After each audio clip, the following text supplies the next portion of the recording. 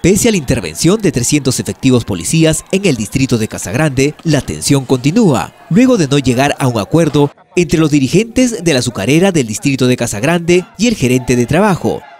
Los enardecidos manifestantes lanzaron múltiples objetos de alta peligrosidad hacia los efectivos del orden. Estamos haciendo las diligencias y las investigaciones porque también ya tenemos identificado a todas esas personas que han ocultado su identidad. Y es cuestión de tiempo porque de todas maneras los vamos a, intervenir y vamos a proceder de acuerdo a la ley. Como resultado de este ataque, quedaron heridos el suboficial de segunda, Hernán Yontok Adriansen, y el suboficial de tercera, John Guevara Inga. Ambos se encuentran fuera de peligro y recuperándose en una conocida clínica trujillana. Bastó una llamada telefónica para enardecer a, los, a, los, a, los, a los manifestantes que estaban allá y se procedieron a agredir a nuestro personal policial.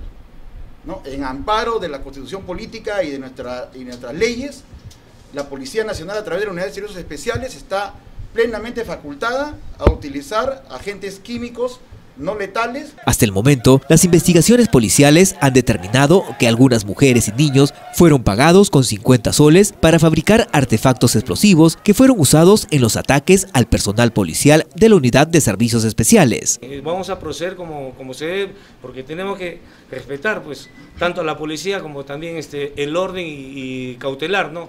El patrimonio público y privado. De incrementarse los actos violentistas, el jefe policial de la región La Libertad, Julio César Otoya, no descartó el envío de más efectivos policiales a la zona.